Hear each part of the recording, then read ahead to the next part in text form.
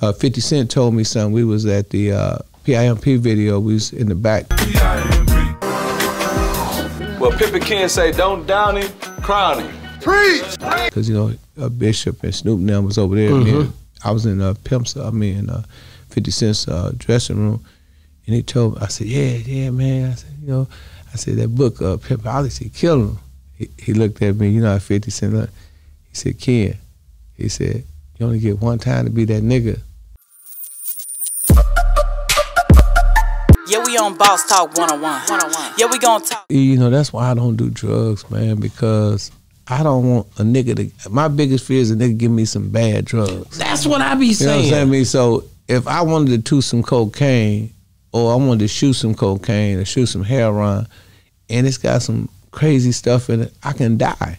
That's right so right. These guys are not chemists. You know what I'm saying? They don't understand how chemistry works. So you know, you putting your hands in someone who don't have the skill set to actually administer drugs, you know, and uh, I think that a lot of our young people, man, you know, they got a lot of trauma, you know, post traumatic stress disorder, and they just trying to escape, you know, and people go through, you know, mental illness is real. It's a lot of mental illness in our community. You know, if an army man go to Iraq or he go to, say, uh, Afghanistan or somewhere where they have war at, he come back, he needs some type of special treatment. They got to give him counseling. What about the brothers and sisters that you know seeing these people get ripped with these uh, uh, Dracos and these uh, these hundred rounds every day? You know, I mean, guns is popping in our hood every day. So it if it was good for the goose, it's good for the gander. So it's got to be going on in our community as well. If it's going on overseas in war, so you know we in a war zone. You know, wow. the, some of the guns that our young people got today is just crazy. So I think a, a easy escape is drugs. So I think yeah. a lot of our young people they use drugs, you know, to escape. And uh, you know, a lot of people say weed is a, a, a gateway to a lot of other drugs. You know, sometimes we just don't do it. Yeah, yeah. And, and people got to go to that next level. And when you get to the point where weed is no longer good, and you go to the next level, then I think that's when you in peril. And I think, and I think that's what happened. You know, when a lot of you know, especially celebrities. I mean, if you go back in Celebrity Dome, you know, Michael uh, Michael Jackson, what was that? P- Purple Fall. Purple Fall, yeah. Uh, you know, uh, Prince, he allegedly, Prince. you know, Elvis Presley. Yeah. You know, uh, man, the list go on, man. Just drug overdose after drug overdose because it's a lot of burden. You know, and then you know, me being a celebrity, you know, people they say, Ken, why you always selling DVDs? Why you always in the hood? Because they keep me sane. You know what I'm saying? If I had to go by being Pimpin' Ken and I had to meet that standard of Pimpin' Ken, then that would be a hard bar to reach because you ain't gonna always be Pimpin' Ken. Uh, 50 Cent told me something. We was at the uh, PIMP video. We was in the back. Well, Pimpin' Ken say, don't down him, crown him. Preach. Because you know, uh, Bishop and Snoop and them was over there. Mm-hmm. I was in uh, Pimp's, I mean, uh, 50 Cent's uh, dressing room, and he told me, I said, yeah, yeah, man. I said, you know, I said that book, uh, Pimpology, kill him.